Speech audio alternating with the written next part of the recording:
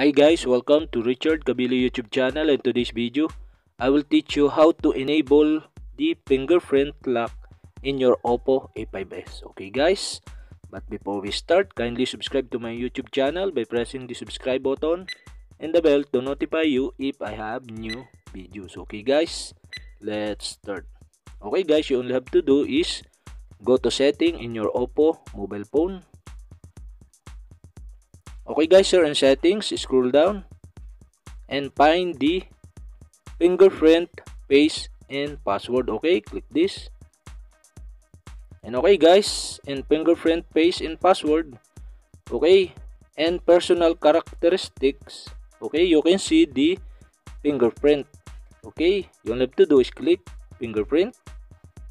And okay, and fingerprint, okay, you can see the add a fingerprint. Click this And okay guys, before to create your fingerprint lock, okay, we need to set a lock screen password, okay? Okay guys, set the lock screen password and verify the new password of your lock screen password. And okay guys, now you can create the fingerprint lock to your Oppo A5s. Okay guys, Add a fingerprint. Use a finger instead of a password. Place your finger on the fingerprint sensor on the back of your phone. So okay, we need to set the fingerprint of the back of your phone. Okay. And okay guys, please left your finger, place your finger on the fingerprint button and then move it away when you feel vibration. Repeat this step. Okay guys, adjust the holding position. Keep adjusting to obtain a fingerprint edge. Okay, click continue. And okay guys, place your finger in the sensor.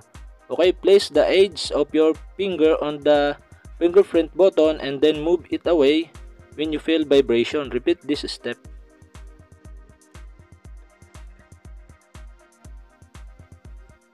Okay guys, fingerprint recognition is ready. You can unlock your phone using your fingerprint. So okay guys, click continue button below. And okay guys, we have successfully create the fingerprint lock on your Oppo A5s. Okay guys, we can try it the fingerprint lock in your lock screen in Oppo A5s. Okay? Okay, go back. Okay, guys. And okay, we need to unlock this lock screen on your Oppo A5s using your fingerprint. Okay?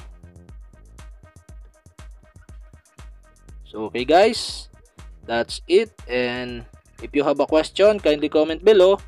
And don't forget to hit the subscribe button and the bell to notify you if I have new videos. Okay guys, thank you for watching.